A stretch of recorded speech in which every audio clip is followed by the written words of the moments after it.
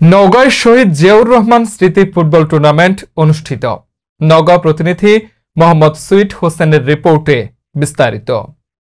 নওগাঁয় শহীদ জিয়াউর রহমান স্মৃতি football tournament পৌর world cup শুরু হয়েছে।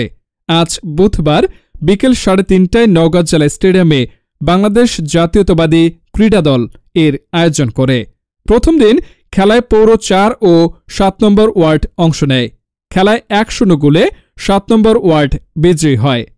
আয়োজকরা জানান নওগাঁ পৌরসভার নয়টি ওয়ার্ড টুর্নামেন্টে মোট নয়টি দল অংশগ্রহণ করবে। সেমিফাইনালের পর পরবর্তীতে চূড়ান্ত খেলা হবে। প্রধান অতিথি হিসেবে উপস্থিত ছিলেন বিএনপির জাতীয় নির্বাহী কমিটির ক্রীড়া বিষয়ক সম্পাদক ও বাংলাদেশ জাতীয় ফুটবল দলের সাবেক অধিনায়ক মোহাম্মদ আমিনুল হক। বেলুন ও ফেস্টুন উড়িয়ে খেলার উদ্বোধন করেন বিএনপির চেয়ারপারসনের উপদেষ্টা কাউন্সিলের সদস্য লেফটেন্যান্ট কর্নেল অবসরপ্রাপ্ত আব্দুল লতিফ খান। খেলা শুরুর আগে জেলা নৃত্যাঞ্জলি একাডেমির শিক্ষার্থীরা নৃত্য পরিবেশন করে। এ সময় বিভিন্ন বয়সী খেলাপ্রেমীরা ফুটবল উপভোগ করে।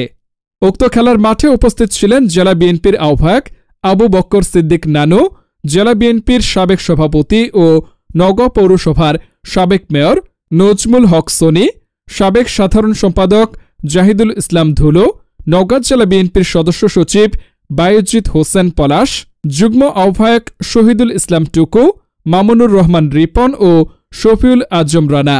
জেলা জজ কোর্টের PP advocate A Z M Rafiqul Islam, tournament কমিটির আহ্বায়ক ও জাতীয় দলের সাবেক ফুটবলার এনামুল হক, কমিটির সদস্য শামিনুর রহমান শামীম সহ অন্যরা উপস্থিত ছিলেন।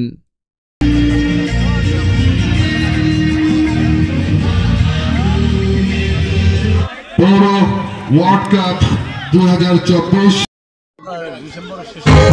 বাংলাদেশ